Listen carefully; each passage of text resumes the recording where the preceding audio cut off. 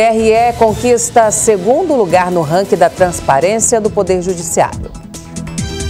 Após cumprir 82 dos 83 quesitos exigidos pelo Conselho Nacional de Justiça, o Tribunal Regional Eleitoral de Rondônia chegou à pontuação de 99,48% de atendimento, juntamente com os tribunais regionais eleitorais do Amazonas, Bahia, Rio Grande do Norte e Sergipe conquistando assim o segundo lugar na quarta edição do ranking da transparência do Poder Judiciário. O CNJ mede os tribunais que tem em sua página é, todas as informações necessárias aos cidadãos, seja do ponto de vista da funcionalidade da administração, seja dos serviços necessários aos cidadãos.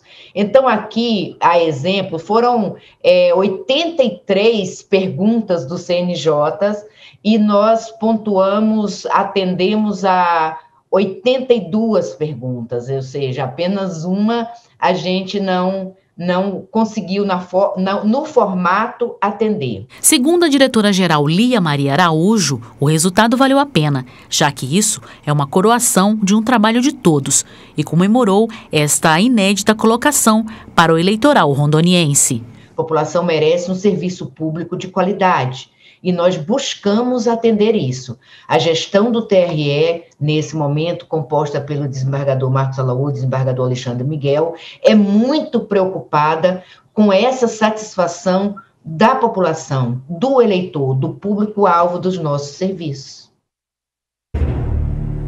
Olha, gente, eu, eu faço absoluta questão de, de fazer o registro aqui da nossa da nossa alegria e até do nosso orgulho, mais uma vez, de saber que, que uma das vertentes do nosso judiciário está se destacando em nível nacional. Aliás, não é a primeira vez que o TRE é destaque nacional.